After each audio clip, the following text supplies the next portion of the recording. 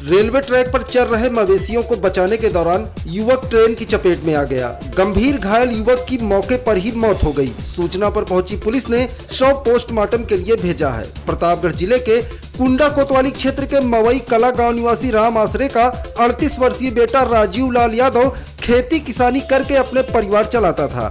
उसने कुछ मवेशी भी पाल रखे हैं। शुक्रवार की शाम वह भैंसों को चराने मवई रेलवे लाइन की ओर गया था। भैंस चढ़ते चढ़ते रेलवे ट्रैक पर पहुँच गई।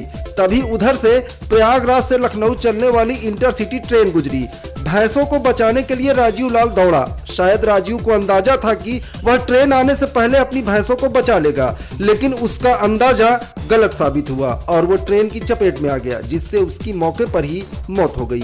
दोनों भैंस भी मर गई। घटना की जानकारी पर परिजन रोते बिलखते घटना स्थल की ओर भागे। सूचना पर पहुँची पुलिस ने सौ पोस्टमार्टम के लिए भेजा है। प्रतापगढ़ ज़िले की खबरों की लगातार अपडेट के लिए चैनल को सब्सक्राइब करके नोटिफिकेशन बेल दबाना न भूलें।